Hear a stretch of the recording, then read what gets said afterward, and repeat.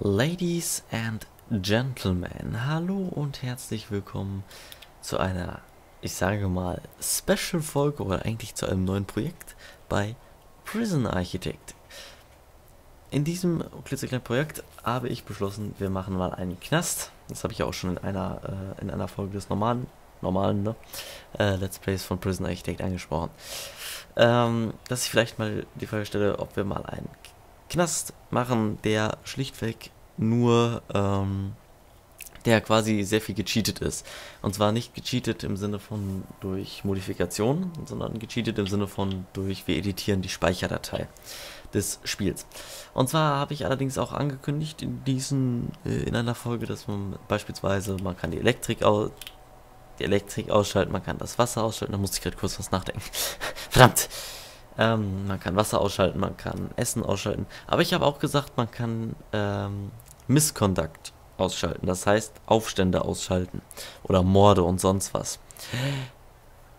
Hm, begrenzt. Also es gibt äh, die Möglichkeit, das tatsächlich zu tun. Es gibt die Möglichkeit, ähm, einen Punkt namens Enable Misconduct auszuschalten. Das Problem ist schlichtweg, ähm, nachdem ihr das Spiel gespeichert habt und dann wieder neu ladet, äh, ist dieser Punkt in den Einstellungen weg. Also wirklich weg. Ich habe keine Ahnung, woran das liegt. Ich habe keine Ahnung, warum das so ist. Aber es gibt diesen Punkt nach dem Speichern des Spiels nicht mehr. Was nervig ist, was heißen würde, man müsste einen kompletten Knast, der immer funktioniert, äh, tatsächlich eine, einmal am Stück bauen und am Stück in Betrieb haben, äh, ohne den jemals zwischendurch speichern zu dürfen. Oder beziehungsweise ohne jemals den Rechner auszumachen oder das Spiel zu schließen oder was weiß ich. Und je nachdem, wie groß das Original werden würde, würde das äh, in, in den Bereich des äh, nicht effizient machbaren abwandern. Aus diesem Grund den Punkt Enable, also Disable Misconduct sozusagen, also verbiete Aufstände, äh, den können wir leider nicht editieren. Das tut mir wahnsinnig leid. Das bringt nichts, weil wenn wir das Knast nicht speichern können, haben wir da nichts von. Deswegen ähm, würde ich den Vorschlag machen, machen wir alles andere und was Aufstände angeht, hält das wenigstens noch ein bisschen spannend, weil die lieben Gefangenen ja immer noch ausbrechen können oder Aufstände machen können oder was weiß ich. Gut, in diesem Fall werde ich euch jetzt in erster Linie in dieser ersten Folge sozusagen eigentlich nur zeigen, wie man das macht. Also Vielleicht werden wir auch am Ende der Folge noch was äh, auf die Kette kriegen. Aber in erster Linie äh, werde ich euch jetzt für alle, die das nicht wissen oder die, Spieler, die das Spiel auch selber haben und sich vielleicht mal dachten, okay, ich möchte mal wissen, wie das geht. In dem Sinne. Ähm, denn die meisten Sachen oder das meiste, was ich gefunden habe zu diesem Punkt äh, hier Wasser nicht mehr benötigen oder sonst was, es gibt es nur der Prison Architect Wiki auf Englisch. Wer sich da überhaupt nicht auskennt und mit Google Übersetzer auch nichts anfangen kann, weil der nur Scheiße ausspuckt, dann äh, könnte das hier vielleicht ev eventuell etwas helfen. Äh, zunächst einmal erstellen wir jetzt erstmal ein neues Gefängnis. Das machen wir gerne mal auf groß. Und diesen Nebel machen wir aus, Anhaltslieferung machen wir aus, Wälder machen wir auch aus und niederlange Bedingungen machen wir auch aus. Unbegrenztes Kapital lassen wir allerdings da. Äh, auch weg. Ne? Klar, brauchen wir nicht. Wir gehen mal auf Spielen und dann sind wir hier an einem dieser wunderschönen Orte. Warum auch immer das... Ja, brav. Ich mag es, wenn das festhängt. Ist das schön? Ja. Ähm, und zwar haben wir dann wieder unseren kleinen Knast. Wir haben einfach nur eine freie Fläche, in der nichts drin ist, außer vielleicht der Räume Abfall und Lieferung. Da oben kommen unsere ersten Mitarbeiter in einem kleinen LKW an. Wir haben 30.000 Dollar zur Verfügung. Wir haben Tag 1. Wir machen Plus. Liest den Brief des CEOs, den löschen wir direkt mal wieder, den braucht kein Mensch. Und wir haben 8 neue Insassen in 23 Stunden und 56 Minuten erwartet. Das ist quasi Standard. Ne? So startet man ja standardmäßig ein Spiel. Wenn man jetzt nicht gerade einen Knast verkauft hat und da oben mehr Geld stehen hat, dann ist das ja so standardmäßig äh, der Anfang allen Übels. So, jetzt machen wir allerdings das Schönste, nämlich speichern wir dieses Gefängnis in erster Linie. Und zwar nennen wir das jetzt meinetwegen mal äh, wir nennen das Ganze jetzt einfach mal Cheat, damit ihr wisst, welchen Knast ich meine. Ich habe ja so viele, unfassbar viele Speicherstände. Nein, ich habe zur besseren Übersicht. Ich habe sehr, sehr viele ähm, private Speicherstände. Ich habe die aus dem Ordner aber rauskopiert, auf den Desktop geschmissen und äh, dann hier äh, den Ordner frei zu machen, denn ansonsten, damit ihr genau wisst, was ich meine und damit das hier übersichtlicher ist. Des Weiteren haben wir ein Autosave Prison und Season 2 ist äh, unser, ne? unser ähm, Let's Play Knast, sage ich jetzt mal.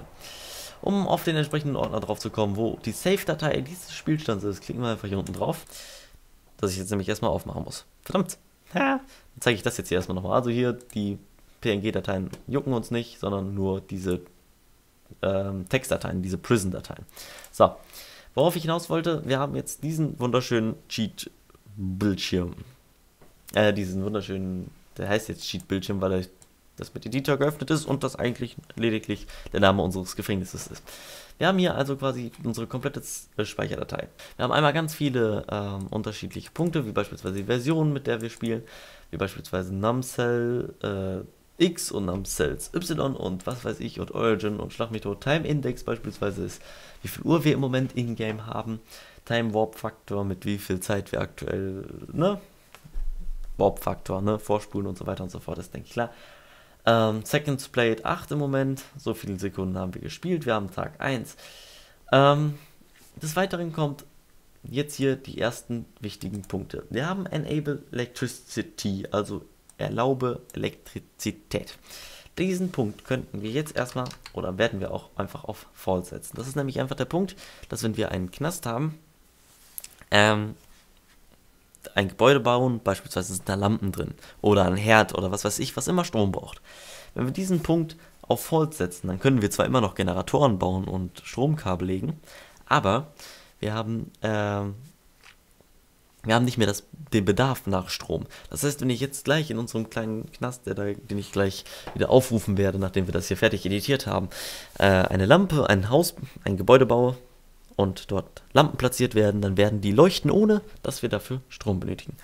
So, das ist dieser Punkt. Enable Water ist das gleiche für Wasser. Das ist nämlich äh, quasi, dass die Toiletten kein Wasser brauchen und was weiß ich nicht was. Enable Food, das lassen wir enabled auf True, also auf ja, wahr im wahrsten Sinne des Wortes, weil ähm, wenn wir Essen verbieten, dann kaufen wir kein Essen ein und die Köche verarbeiten auch kein Essen, aber das Bedürfnis nach Essen, also dass die Gefangenen Essen haben wollen, das verschwindet nicht. Also das heißt, wir programmieren damit quasi schon einen Aufstand. Dann kommen wir zu diesem wunderschönen Punkt ähm, Enable Misconduct, True. Den könnten wir jetzt theoretisch auf False, äh, false setzen. Also für alle, die nicht wissen, was Misconduct ist, das ist quasi Aufstand oder dass die gegen die Regeln des Gefängnisses verstoßen.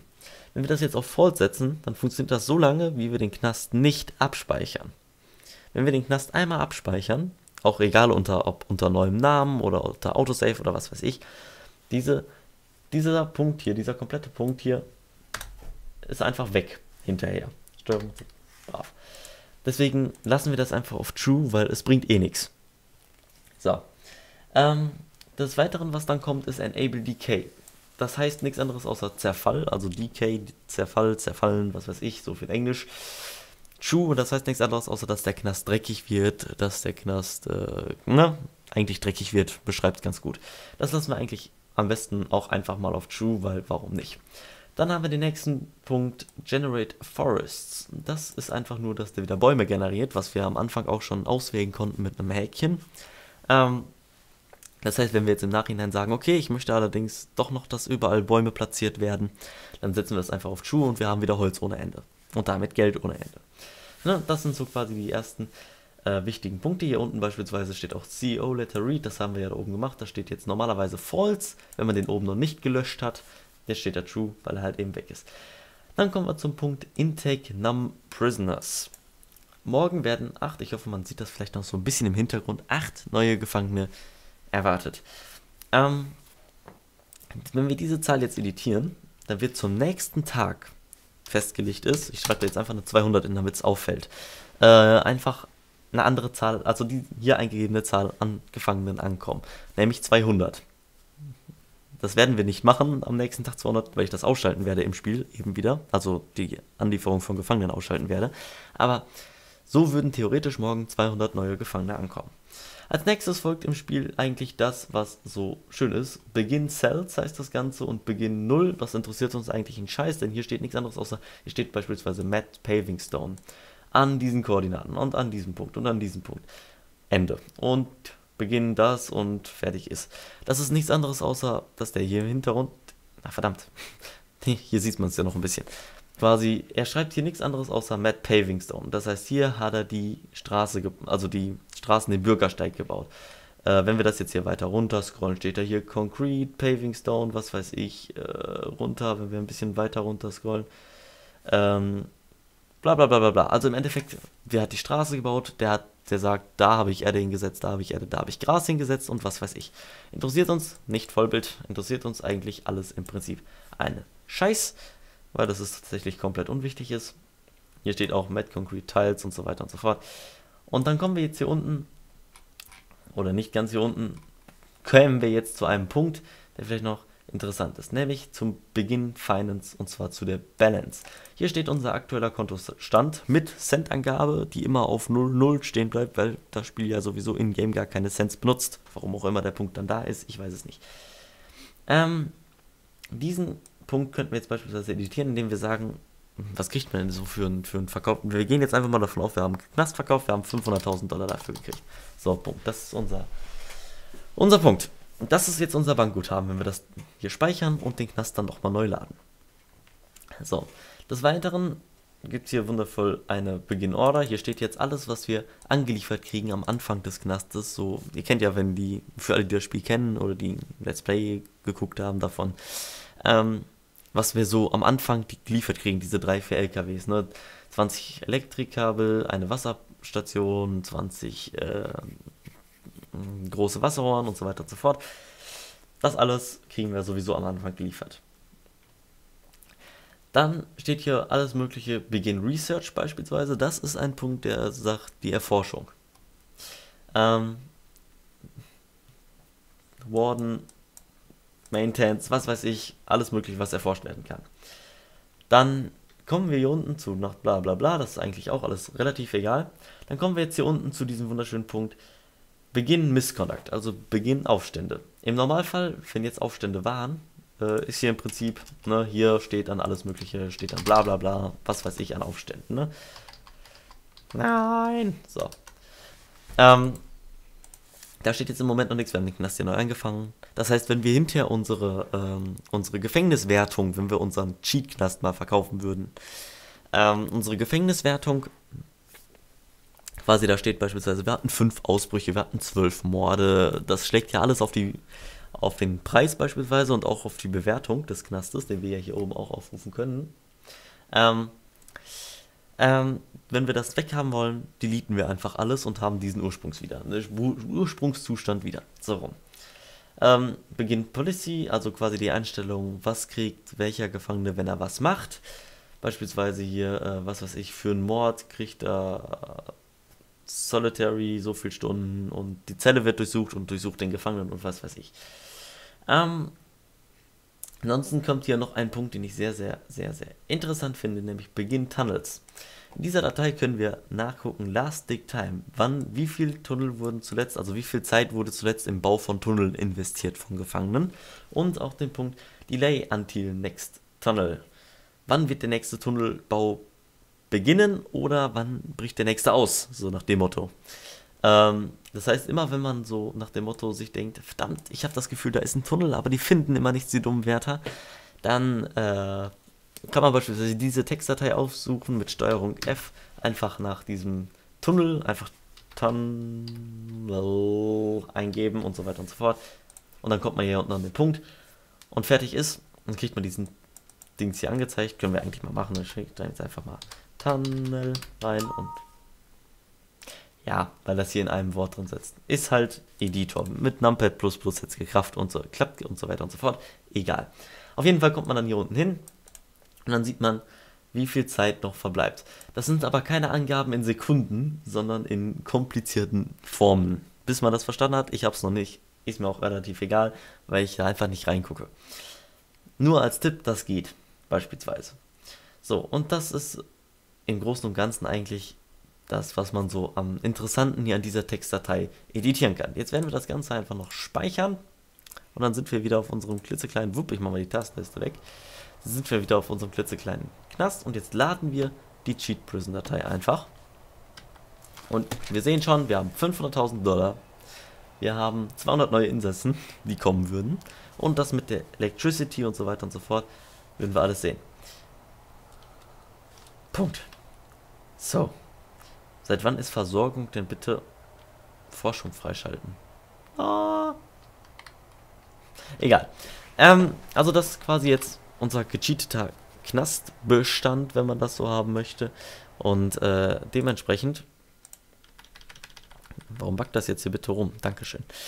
Und äh, dementsprechend ähm, würden wir mit diesem Knast jetzt anfangen zu spielen. Wir könnten uns theoretisch Geld cheaten, wir können hier, was weiß ich, wir bauen auf jeden Fall einen Knast, der kein Wasser und kein Strom braucht, trotzdem Aufstände hat, um es ein bisschen spannend zu halten und weil es nicht anders geht im Moment, soweit ich das soweit ich informiert bin zumindest. Und wir bauen einen Knast, der möglichst gut aussieht. Außerdem muss ich mal eben unter Optionen, und bevor ich das vergesse, das Spiel diesen dämlichen Punkt mal eben wieder zurücksetzen auf, keine Ahnung, 20 Minuten. Das ist übrigens auch so ein Punkt, automatisch speichern nach. Äh, wenn ihr jetzt auf Anwenden klickt, übernimmt er das nicht. Also ihr müsst erst die Zahl eingeben, Enter drücken und dann auf Anwenden, dann übernimmt er das auch. Auch so ein kleiner Punkt. Ähm, ansonsten würde ich sagen, können wir in dieser Folge sogar noch, weil wir haben ja noch nicht so viel Zeit verbraucht in dieser Folge, damit beginnen, äh, einmal eigentlich erster Linie mal die Gefangenen auszuschalten. Ähm, Einmal damit zu beginnen, unseren Knast zu planen und zum anderen mal eben ein kleines Gebäude zu bauen, um zu zeigen, was ich damit meine. Äh, also, dass es auch tatsächlich funktioniert, sozusagen. Können wir uns ja gerne mal einmal angucken. Wir planen jetzt erstmal Wände. Ich sage mal, wir machen bis 65 in die Richtung und von da unten bitte auch mal 65. 63, 64, 65 da hoch gehen auf Räume, Lieferung weg.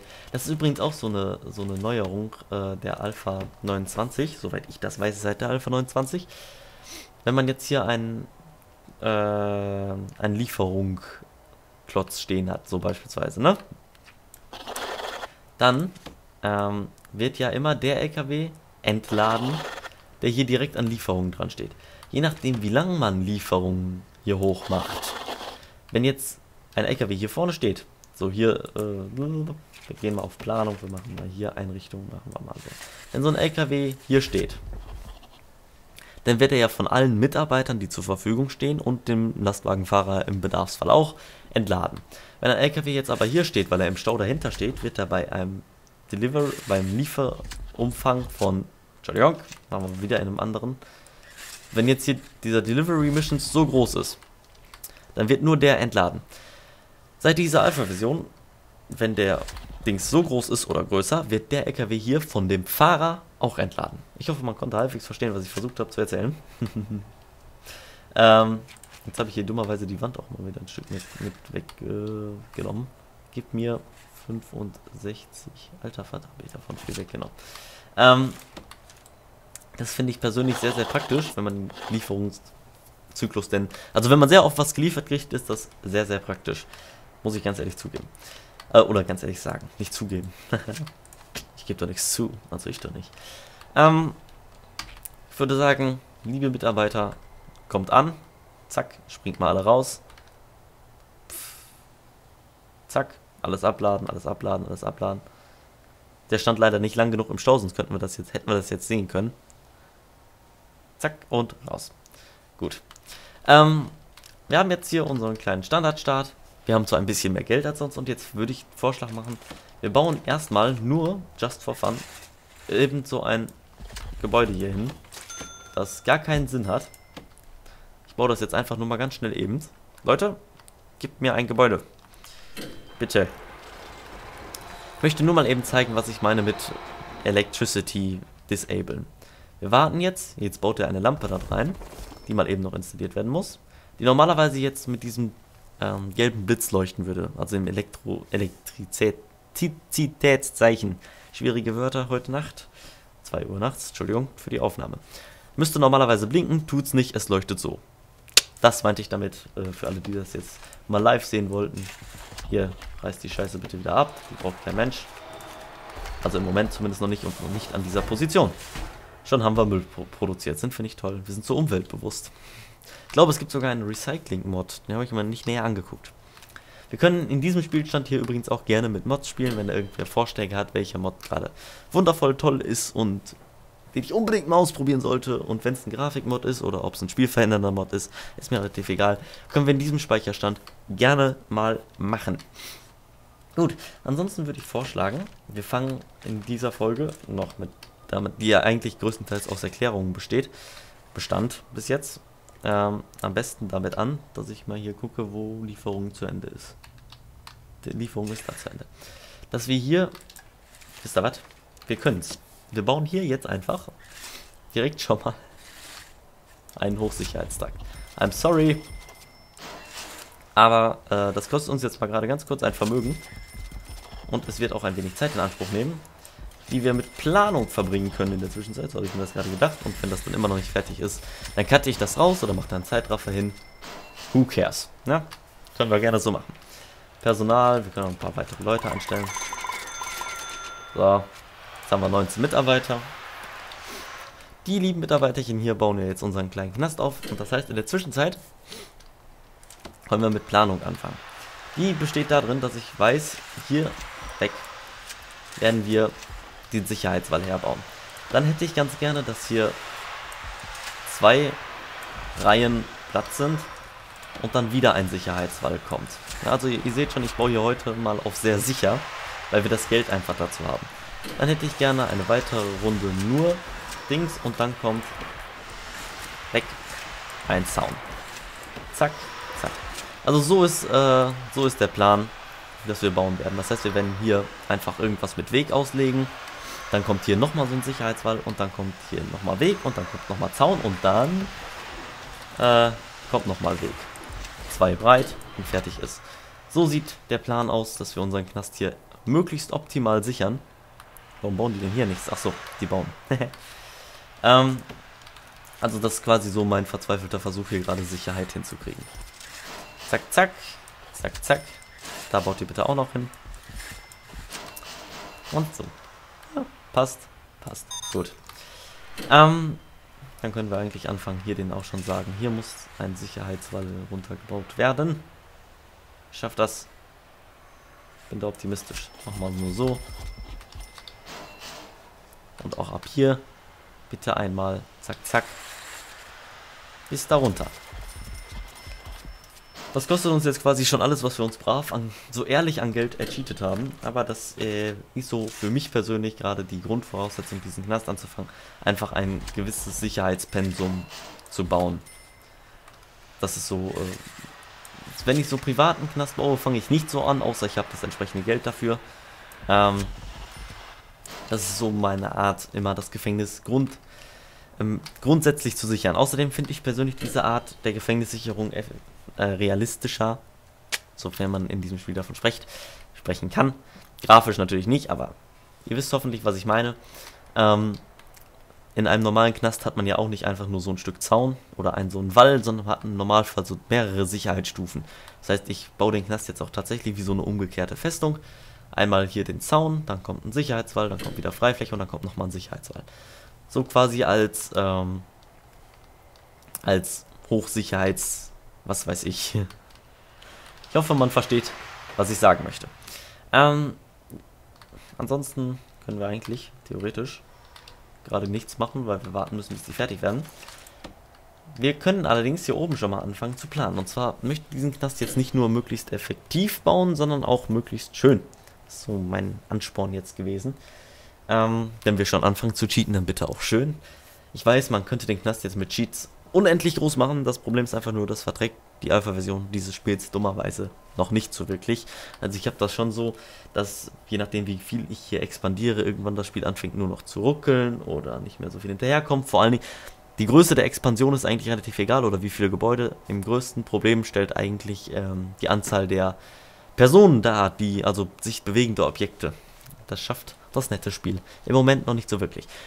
Auch wenn es dieses Jahr vermutlich ähm, oder es angekündigt ist, dass es dieses Jahr ähm, als Vollversion endgültig rauskommen soll.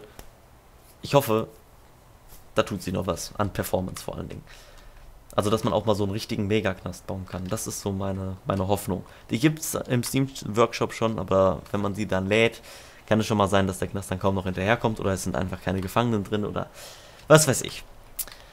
So, wo war ich? Ach ja, ich wollte planen. Und zwar möchte ich von diesem 31 x 12 Muster, was wir in unserem ähm, in unserem Let's Play schon haben, unserem ehrlichen Let's Play schon haben, ähm, auch ja, lieber gewisser Kommentarschreiber, in diesem, ähm, in diesem Modus werde ich definitiv immer über ein gewisses Geldminimum verfügen. Ja, hier wird sie nicht beschwert. Nein. Ähm, ich möchte von diesem 31x12 Muster eigentlich ein bisschen wegkommen. Ich persönlich finde das zwar ganz cool, aber äh, ich finde es auch ein wenig langweilig auf Dauer, wenn man es nur so baut. Ja, wir haben in unserem Haupt-Let's Play diesen, diesen Knast schon mit diesen 31 x 12 Blöcken gebaut. Ähm, wir müssen das jetzt hier nicht auch noch machen, finde ich persönlich. Allerdings möchte ich den Knast natürlich auch möglichst schön haben. Das heißt, ähm, wie baue ich das jetzt hier am effektivsten oder am effizientesten? Ich mache in dieser Folge sowieso nur noch, wir haben eh schon fast eine halbe Stunde voll, äh, nur noch ein bisschen Planung und mache euch einen Vorschlag, wie das aussehen könnte. Wenn ihr der Meinung seid, das passt nicht, dann schreibt mir das, ich werde es ändern. Schließlich äh, tun wir das hier gemeinsam aufbauen und nicht ich alleine. Habt ihr hier mal mittlerweile was gebaut? Ja, habt ihr. Brav. Brav. Ihr lieben Sklaven, äh, Mitarbeiter. Haben ja keine Gewerkschaftsrechte. Ich kann machen, mit denen machen, was ich will. So, meine Güte. Wie bauen, das Ganze fängt schon an mit, wie bauen wir den Knast? Bauen wir ihn, also bauen wir die Zellen. Wir haben ja mittlerweile immer nach dem Muster gearbeitet. Zelle, Zelle, Zelle mit Außenwand. Eine Zelle hat eine Außenwand. Man könnte natürlich auch bauen. Machen jetzt hier mal so testweise, mal zum Zeigen. Zelle hat, hier ist dann der Eingang. Zelle hat keine Außenwand. Dann ist hier wieder der Eingang. Weg. Zu geht's. Das geht nach äh, optional natürlich auch dass man das so baut. Ist für mich persönlich eine gewisse Form der Platzverschwendung, weil man zwei Wege braucht. Aber äh, ist natürlich auch eine Form der äh, Gefangenenunterbringung. Ähm, des Weiteren fände ich persönlich, nur mal so ein Vorschlag als Designelement. Ich persönlich fände es wundervoll, wenn wir einen Knast bauen würden. Ja, ich mache jetzt nur ganz grob mal eben. Ne? Nicht wundern, der quasi nach diesem Muster aufgebaut ist. Also diese Dingsform hat. Und da drin meinetwegen nochmal so ein Kreis. Das finde ich persönlich als, äh, als Knast relativ schön, weil ich irgendwie, keine Ahnung, sieht zwar mehr aus dann wie ein Schloss, aber es soll ja schön aussehen, nicht wahr? Das ist so mein, meine Idee gewesen, wie man so einen Knast auch bauen könnte. Ey, die kommen ja echt voran hier, ich bin beeindruckt. Beeindruckt! Doof, wenn die immer so langsam über die Mauern drüber gehen. Ähm, ob wir das so machen, dann müssten wir das so planen. Hm. Sagen wir mal, wir machen das. Äh, sagen wir mal, wir machen das jetzt erstmal so, dass wir außenrum tatsächlich noch einen kompletten. Profile lässt grüßen. Einen kompletten. Äh, oder die Uhrzeit, ich weiß es nicht. Wir haben übrigens gerade 2 Uhr nachts. Hm, Habe ich schon mal erwähnt? Ich weiß es nicht. Ähm, dass wir sagen, okay, wir bauen diese Zellenformation na, so, meinetwegen. Mit hier nochmal eine Zelle dran. Oder nicht? Oder doch? Oder nicht? Oder doch? Oder nicht? Oder noch? Ich weiß es nicht. Wir könnten theoretisch ja sogar hier schon Zellen wieder dran bauen. Sodass das hier wieder ein Zellenblock wäre. Und hier in der Mitte wäre wieder Weg. Machen wir das so? Können wir das so machen? Ich weiß es nicht, liebe Leute. Ich probiere jetzt ein wenig aus mache auch sehr viele Backups, glaube ich, von, von dieser Speicherdatei. Also werde ich notgedrungen machen müssen. So dass ich sage, okay, das hier könnte man doch als Knastvorbild nehmen. So hätten wir diese einmal diese Außenrundform und könnten dort immer mal wieder nach einer gewissen Anzahl von Zellen, ich meine meinetwegen so 3, 4, 5, 6, 7, 8, 9, 10. So, Das sind hier dann 40 Gefangene in einem solchen Block, hier meinetwegen. Ich plane hier gerade effektiv, ja. Habt ihr mal hier unten fertig? Fauler Haufen, meine Güte. Ähm, das heißt, wir hätten jetzt das so und das so als Zellenblock. Dann könnten wir theoretisch, machen wir hier gerade so ein bisschen so, dann könnten wir theoretisch hier einen, einen gesonderten Trakt, also ein Gebäude im Gebäude ist das ja sozusagen. Auch nochmal ein Stück weit sicherer. Dann könnten wir hier so ein Trakt Essen hinmachen und Kantine und so weiter und so fort. Dann klatschen wir diesen Trakt 20 mal 31. Hat auch wieder die 31, ich weiß, aber es ergibt sich einfach. Wieder dahin. Und mit in der Mitte frei bitte. Und dann kommt da so ein Ding hin und da so ein Ding hin.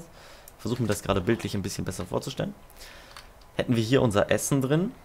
Oder wobei, wir könnten hier theoretisch Sonstiges reintun, sag ich jetzt mal Sonstiges, in Anführungszeichen. Und könnten dafür hier an der Innenseite äh, Küche und was weiß ich hinsetzen. Wenn ihr mit dem Design halbwegs einverstanden seid, dann würde ich den Vorschlag machen, machen wir das so. Weil ich persönlich finde das ganz schön, wenn wir den Knast so aufbauen würden. Und äh, außerdem kann man den dann... Oh, habe ich noch nicht erfahren, dass man mit Q und E ranzoomen und Fake zoomen kann. Pro-Gamer in diesem Spiel, ey, meine Fresse. So stelle ich mir den eventuell vor. Wenn ihr der Meinung seid, das geht klar, dann ähm, ich rede und baue in der Zwischenzeit hier eine weitere Sicherheitswand. Dann ähm, sagt nichts meinetwegen oder könnt ihr auch schreiben, dass ihr das toll findet, ist mir eigentlich relativ. Ihr müsst halt nur schreiben, wenn ihr der Meinung seid, ne, das geht gar nicht, das sieht voll scheiße aus. Das verbieten wir dir. Dann äh, habt ihr gerne das Recht, mir das dementsprechend zu verbieten. Weil ich mich da, wie gesagt, vollkommen äh, dem anpasse, was ihr da gerne sehen würdet. Also ich habe hier gerade den Vorschlag, ich glaube Versailles ist auch so aufgebaut von der Form her. Das Schloss sollte jeder mal im Geschichtsunterricht gehört haben. Das heißt, das kennt vielleicht jeder bildlich. Ähm, hier natürlich nicht, ne? Gut. Ähm, das wäre so mein, mein Vorschlag sozusagen, wie man das machen könnte. Wenn euch der gefällt, dann äh, ist in Ordnung. Wenn nicht, schreit bitte lauthals. Bitte nicht vorm Rechner sitzen und schreien, das bringt nichts. Äh, wenn, dann bitte schreibtechnisch schreien. Das höre ich dann auch. Gottes Willen. So, und dann machen wir hier noch den Zaun. Give me Zaun. Ein bisschen was wieder von deleten müssen, kann ich nicht ändern. Ist auf jeden Fall sehr aufwendig, diesen Knast so zu sichern. Noch weiter bauen. Ja. Und Ja. Nein. Und. Ne, ja, ja, ja, ja, ja, ja. So, meine Güte. Haben wir das auch geschafft? Ach ne, da muss ja jetzt noch die Steinplatten. Oh. Bis zum. Bis zum nächsten Mal cheat ich mir dann übrigens nochmal ein wenig Geld. I'm sorry. Aber es soll ja ein, ein möglichst schöner Knast werden, ein möglichst äh, funktionierender Knast werden. Ich werde auch am Anfang noch keine Gefangenen ähm, in den Knast reinlassen. Oder doch? Tue ich? Weiß ich nicht, muss noch überlegen.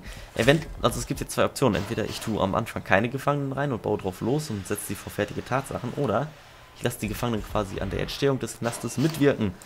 Im Sinne von, ich baue jetzt erstmal einen so einen Gebäudetrakt. Meinetwegen mache ich hier schon Ende und sage, okay, bauen hier Küche hin und sonst was. Und Kantine. Wenn das so funktioniert, sehr gut. Wenn es so nicht funktioniert, haben wir immer noch die Möglichkeit, das zu ändern. Wäre gut im Sinne der Baumaßnahme. Aber sowas äh, stelle ich mir eventuell darunter vor. Jetzt können wir hier oben die Planung eigentlich, wobei dann reißen wir vermutlich 90% unserer Planung mit ab. So. Können wir eigentlich mal eben hier die Wände also nicht wundern, das wird nicht so aussehen mit einem Rundgang, sondern das wird ja dann hier weitergehen, das Gebäude. Aber das hier sozusagen so als Vorschlag wie man äh, einen Knast bauen könnte und der vielleicht optisch ansprechend aussieht, weiß ich ja nicht. Geschmäcker sind ja bekanntlich verschieden. Ansonsten sage ich jetzt so langsam aber sicher vielen lieben Dank fürs Zuschauen. Ich gehe gleich schlafen und äh, hoffe, dass ich gegen das Mikro komme. Mann, sah das scheiße aus auf der Audiospur. Ich laber nur noch Müll. Vielen Dank fürs Zuschauen. Schreibt, wenn euch das nicht gefällt, oder schreibt, wenn es euch gefällt, oder weiß ich nicht, oder tut irgendwas, was mir das dann zeigt. Haut rein. Bis zur nächsten Folge. die übrigens am besten, gute Frage, kommt die jeden zweiten Tag? Am effektivsten wäre es, wenn wir das jeden zweiten Tag machen würden. Also so nach dem Motto, vielen Dank fürs Zuschauen, haut rein, bis zur nächsten Folge in zwei Tagen. Ciao. Habe ich auch effektiver Möglichkeit auf Kommentare einzugehen. So, jetzt aber tschüss. Schnauze halten. Schnauze halten, Jan. Schnauze.